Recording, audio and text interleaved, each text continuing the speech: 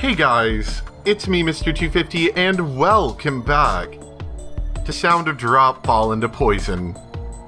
So we last left off at the big decision here, which was uh, we can push Mari away and run, or pull Mari close and protect her. Which, oh yeah, this is this is when that one girl started freaking out and the, the, something about concrete water or melted concrete. Uh, yeah, I thought that was weird. Anyway, we are going to choose. This is where we actually get a bad choice option. As you can tell by the red, uh, the red choices here. We are going to choose push Mari away and run. If at least Mari can get away. With that one thought, I push Mari away. Big sis. Even against the water resistance, Mari is swept further and further away. At the very least, she's able to get out of range of the whale's mouth. My relief is almost simultaneous. Yeah. What is that breed called? A lancefish, isn't it? A fish with a long, thin body and bearing sharp teeth. It has a ferocious desire for every type of prey in the deep sea. That fish is approaching Mari's neck.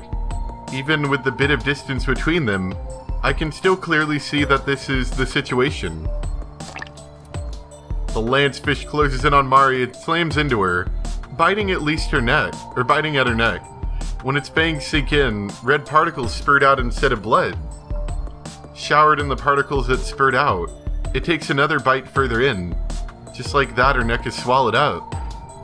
Her body is severed from above the neck, the deep red particles scattering about as her head, which has now become Oliver, drifts through the deep sea. I lock eyes with the head floating before me. I can't look away from her expressionless eyes. It's the end of the one I tried to protect, the extinguishment of her very existence. Death piled on death. Before I know it, the once violet room has dyed red. The world itself seems to be trying to change. But from my head to my toes, I'm already swallowed up by the whale. Unable to see fate through to the end, I am washed away by the torrent of a violent of a violent death. Congrats. You blew it. The final stage of destiny. Woo!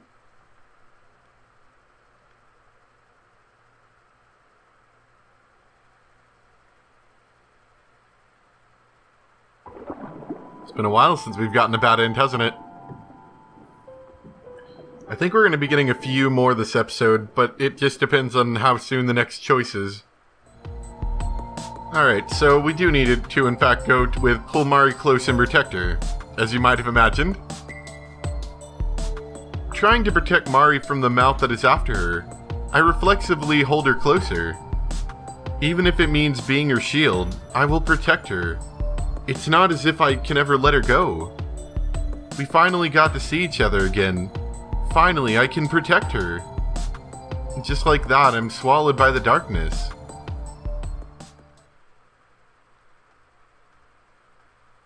Are we dead?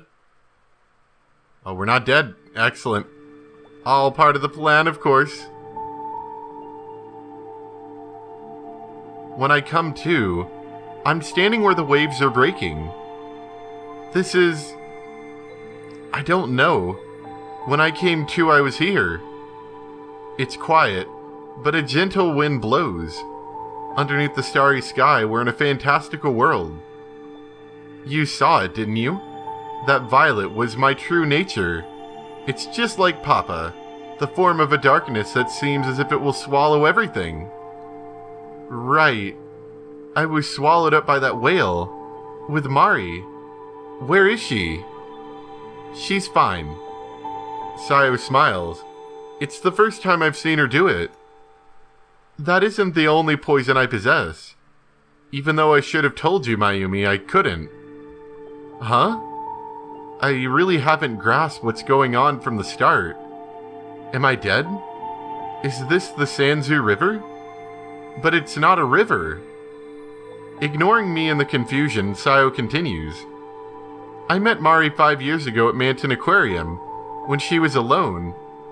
We were close in age, so I have a feeling that's why she quickly opened up to me. I was so proud. I wanted to show her the deep sea fish booth. Even though it was already closed down, there were creatures left as part of Papa's collection. But in the end, it was locked and we couldn't get in. As thanks for telling her about it, I received her keychain. I wondered if it was okay even though we couldn't see the booth, but I was happy. Ironically, I was able to ascertain that reason today.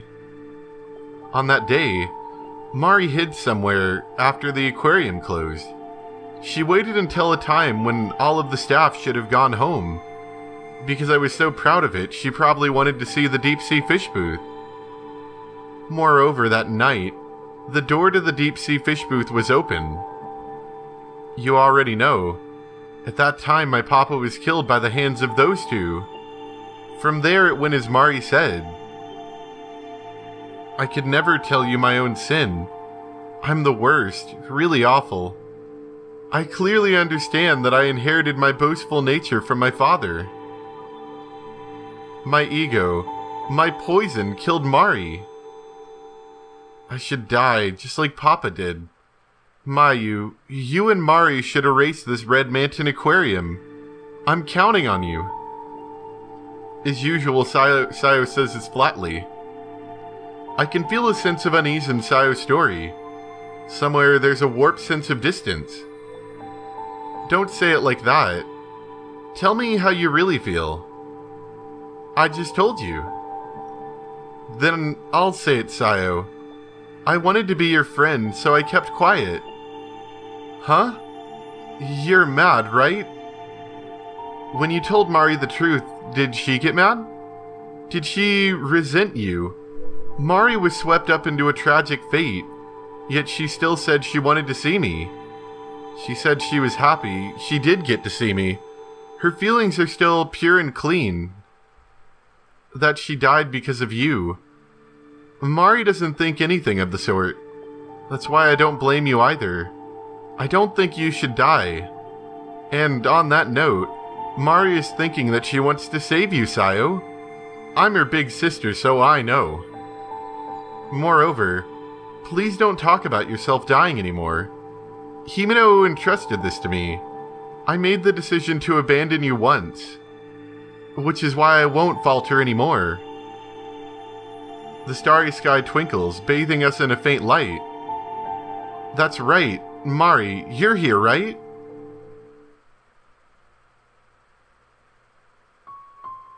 Yep. When I look over my shoulder, there's a small silhouette. And you're glowing? Mari is tinged with a transparent blue light. Her hair color is strange, almost sublime. Hee hee. Isn't it great? I don't know if I'd say great or cool. Right? Ugh. Mari's whole face is in a smile, and she spins around once. With almost the same ease that her skirt flutters, the light enveloping Mari spreads throughout the whole room.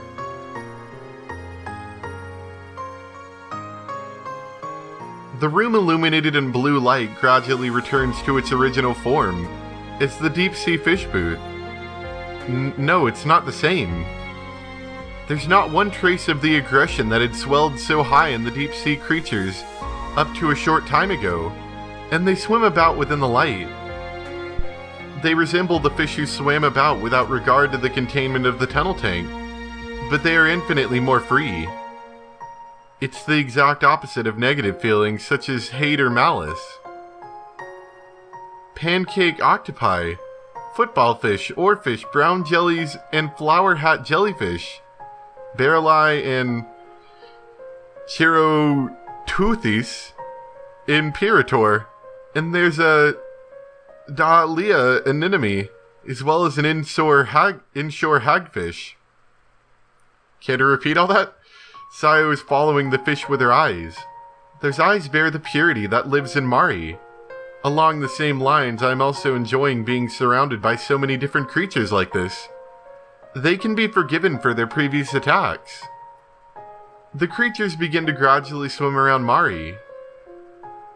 Mari, what did you do? I became one with the fish. I prayed and made a wish that I want to protect my big sister. And you couldn't have done that while the fish was coming to munch in your throat? Just like the director and the others. No, it's different. You don't have that sinister feeling. The only ones who do are those who make corrupt wishes. With this, we may be able to hold off that whale.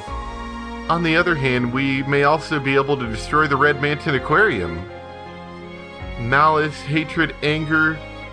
The imprisoned souls have been freed from these things. Look and you'll understand. It's different from one unified form following one giant will. All of them being touched by Mari's light, their liberated souls are each cooperating. You could say it's numerous individuals responding as one community. We've received hope from an unexpected source. Mari, you're really amazing. I become happy and embrace Mari. But it doesn't work the way it did before. Even as I pitch forward, Mari's body gives no tactile resistance, and I fall to the floor. I reach out my hand for Mari's to try and stand up, but our fingers cannot touch. My eyes surely widen as Mari gazes at me with an intense look. Big sister, I understand as well. I exhale without thinking. Her serious expression is one I've never seen before. I realize she's grown up with within eternity itself. If you take care of the bad people, big sister, I'll disappear too, because this aquarium itself will cease to exist. Yeah. If everyone gets eaten up by the big whale, it might not disappear, but I don't want to stay in such a scary place forever. What Saganuma Rieko and her cohort called a whale, that giant malevolent aggression is the means of closing off this world. I personally would not want to spend an eternity in such a place. More importantly than anything else, I refuse to let Mari be trapped. My precious little sister, she can't be saved if she can't go to heaven. I won't give up. Leave it to me, and you all go back to the real world where you can rest easy, big sister. What are you saying, Mari? We'll stand up to them. Together. I put my hand out in front of Mari. Huh, but big sister, you guys can't do anything, can you? We can be with you, even if it's just for a little longer. With the back of my hand facing up, I stretch my arm out towards Mari. And finally, it seems she realizes what I'm trying to do. Mari also extends her hand, laying it with naturally no feeling to it over mine. Even with her hand giving off no body heat, I'm sure I can feel a warmth to it. Are you trying to leave me out? You want in, Sayo-chan? If you say so as well, Mari, but I'm fine. I haven't atoned just yet. If I don't at least say what I want to do, I can't go home. That seemed so like you, Sayo. It's not bad, is it? Saying this, Sayo places her palm on top of Mari's hand.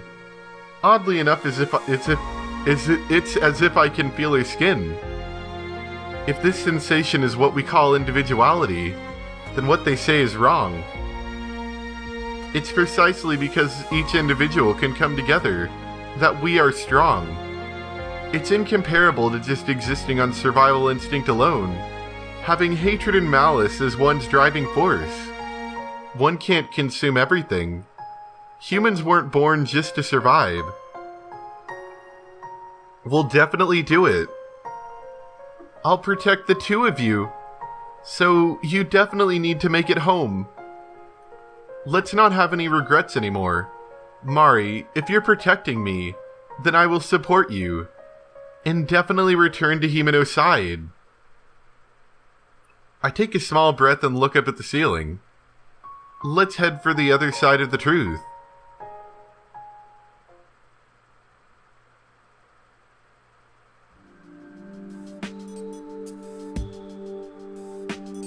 So I'm not I'm a little confused on what they're gonna do Other than that they're they're gonna they're gonna beat the bad guys? Here is alright as well. Taking the front entrance out of the deep sea fish booth, we've arrived at the tunnel tank. Mari is praying at the center of the room, addressing the fish and living creatures. The creatures do not respond verbally, but the blue light emitting from Manton envelops them, and just like at the deep sea fish booth, they begin to swim around freely. I wonder why the fish don't disappear. Since they're souls, they should also be able to cross over. Because they're all Mari's companions. They've been under the influence of a heart of fear up until now, but having been moved by Mari's pure heart, it seems like they want to help her. The fish's emotions, huh? Think you could hand in a paper on that? Should I write that Mari is glowing or something? If I write such a paper, they won't let me into high school. Big sister, you'll be a high school student soon. How cool! How cool! Mari is empath- empathizing, emphasizing her point by jumping up and down. The ultramarine light that seems to be not of this world is making an imprint out of Mari. As Mari says this, I can't really seem to answer her. Big sister, are you in the same class as Sayo-chan? No, we go to different schools. I go to Mitsuba Junior High, close to home. What about you, Sayo? A girls' school in the city. It includes elementary, junior, and high school. It's near Manton. Well, since the high school's begun recruiting, why not try for it? Though the score you need is high. Sayo-chan, you want to be in the same class as my big sister. that isn't necessary. It's that's not what I mean. Stop picking on me, Baka. Sayo's face becomes red and she shouts at Mari. Mari has a mischievous smile on her face. She seems to be attached to Sayo. I'm not used to seeing the power dynamic between these two play out so clearly, but it's quite funny. Anyway, let's keep moving. We need to go around the aquarium to all the areas and make all the creatures Mari's allies, right? The fishes say that they'll help us and spread my light, so we can leave it to them. We should go look for that man and the lady. Allies, eh? They're probably our most reliable option. But you know, if we don't hurry and find the man, no matter how I help them, they'll be taken over by the scary feelings again. Overwritten by the grudge, you mean? If so, we should return to the director's office. Yeah, that's right. I'll go in the front, because the others are following me for now. Big sister, you two, think about what you want to say to the man and the lady. Mari says, pointing her fingers towards the way we came. When Mari spins to the side, the dust in the air reflects the glittering light. It's as if she's clad in blue specks of light. Mari's words weigh heavily on my chest. She has also probably realized it. This is the end. The man and the lady, and all of the imprisoned fish souls, even the big whale, I'll bring them all along, to the other side of that fuzzy world. I want to stay a human. This is what Mari's heart is screaming out. But I'm not sad. If I keep waiting the whole time, I'm sure I'll see you. At that time, I'll be an old lady. Will you recognize me? Big sister is an old lady. How funny. If their ambitions come to pass, Mari will never be able to go to heaven, forever trapped within the cage of being a grudge. It sounds like a ridiculous story. Sayo, if you still have doubts, maybe you shouldn't push yourself. Sayo clicks her tongue, then continues. I don't want to accept it. I still have doubts. I also feel that I don't want Papa to disappear, but to be in- imprisoned by a shapeless grudge unable to be rescued. I pity him. Whoops, I didn't read the rest of that. He's already dead, so at least let him be relieved by Mari's kindness. My true resolve is that no matter how terrible he was, I still accept him as his daughter. It's not wrong, is it? Going about it that way. Sayo smiles with the most relaxed expression I've ever seen her use. It's not the strained resolve she had when we met. The person who recklessly said she would throw away her life if it meant clearing up the truth is a different person. Like the time that Mari said she wanted to protect us. This is a pure wish.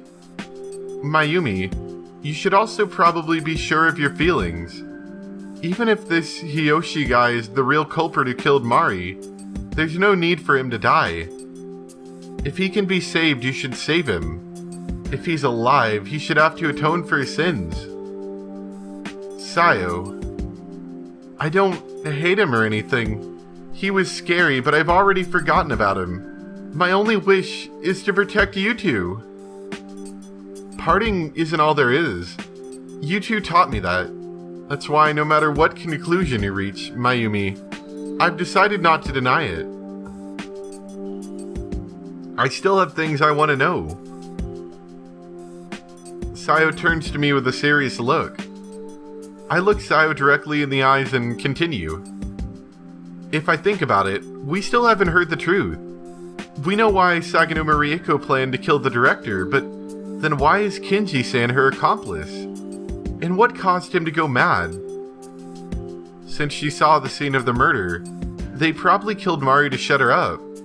Sagano Rieko was probably killed as well, being afraid to give herself up and hesitant to kill Mari.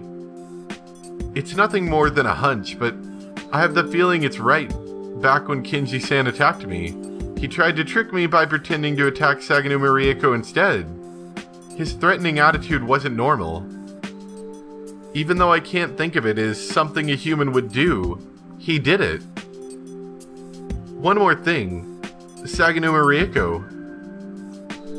Sayo looks at me with a mysterious expression. Do you have some connection to her, Mayumi? Why did she keep her, Mari, around at that time? After a moment of silence passes, I clap both of my hands together. Without knowing the truth, I can't reach a conclusion. So we should get going. I'm sure the night of the full moon will be over soon. For Mari and for everyone in the aquarium, we cannot fail no matter what. Right. With Mari's cheerful reply, she stands in front of us and begins walking, just, just as she had said. As I start to follow behind her, her, her form cloaked in light, Sayo pulls me back by the hem of my shirt. It's unexpected and a little surprising. Listen to me for a moment. Huh? What is it? Once we return to the real world, I probably will be too embarrassed to say this, so I'll say it now. Before I can respond, Sayo continues. Her cheeks have been tinged a slightly red color.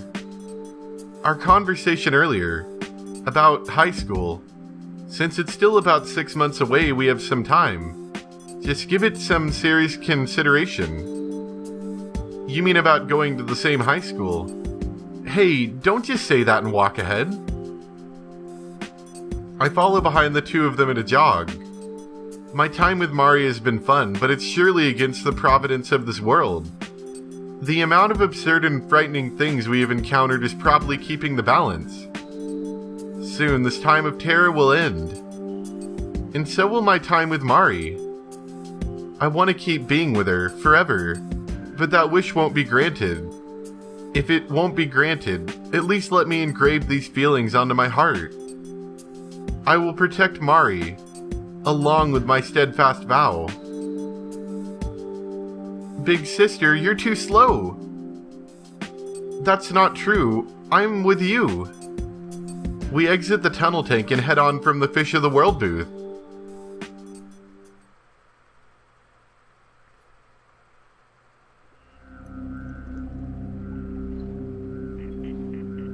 It's dark.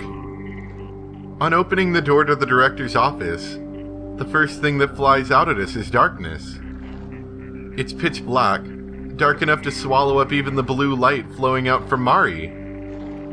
Big sister, be careful. Dark rooms are scary. Right. It's not just that it's dark, but there's some sort of omnis- om- omnisciousness to it. Something is actively swallowing the light. The light flowing in from the door should illuminate the whole room, but it's safe to say that it isn't happening at all. I have no idea what has happened to the room, which should have been in complete disarray from the poltergeist phenomena. They're not here? Nope, they are. I can feel them. What a useless thing you've done. That voice. Saganuma Rieko, I knew it! Saganuma Rieko's voice came almost in sync with the answers to Sayo's question. But from where? Even as I look around, I don't see them anywhere. Kenji-kun and I, hehe, I'm sure you all haven't the capacity to understand. Even if we can't see her, we can clearly hear her voice. It sounds as if it's generally coming from the director's office, but I have no idea where she is.